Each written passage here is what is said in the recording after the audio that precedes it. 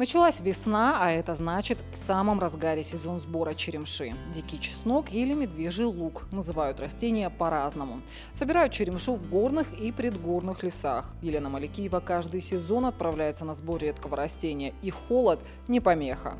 Черемшу по внешнему виду можно перепутать с ландышем. У растений похожие листья, но специфический запах черемши не даст ошибиться. Сбор дикого чеснока – дело тонкое, говорит девушка. Растение в ряде регионов занесено в красную Красную книгу. Собирать ее тоже нужно правильно, чтобы не повредить корни растения, потому что в следующем году она тогда уже не, вы, не вырастет, если повредить корни.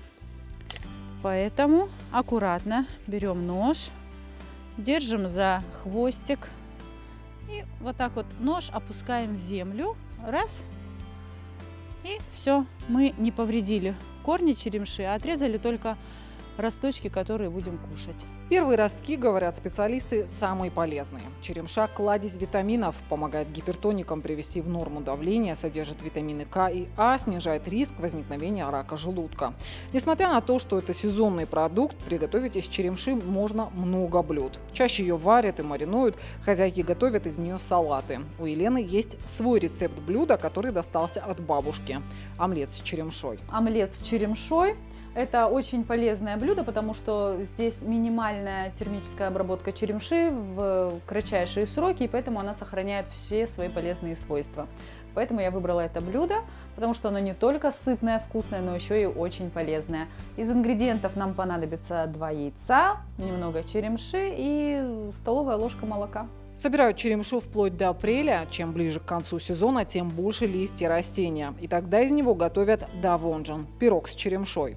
Излюбленное блюдо жителей Осетии. На данный момент он у нас считается сезонным пирогом.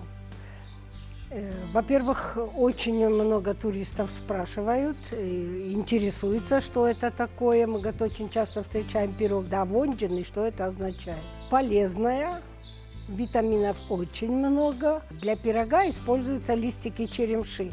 Вначале ее используют для консервирования, а вот на данный момент, сейчас сезон, и мы делаем пироги. Э, делаются черемши и сыр, осетинский сыр. Черемшу мы моем, просушиваем чуть-чуть листики, чтобы они не сочные были. Режем мелко, как ну, шинкуем. Потом перемешиваем и смешиваем с сыром. Стоимость черемши за килограмм в сезон в Осетии варьируется от 300 до 500 рублей. Собирают растения вручную, этим и объясняют достаточно высокую цену. Алина Хасаева, Вадим Панченко, 15 регион.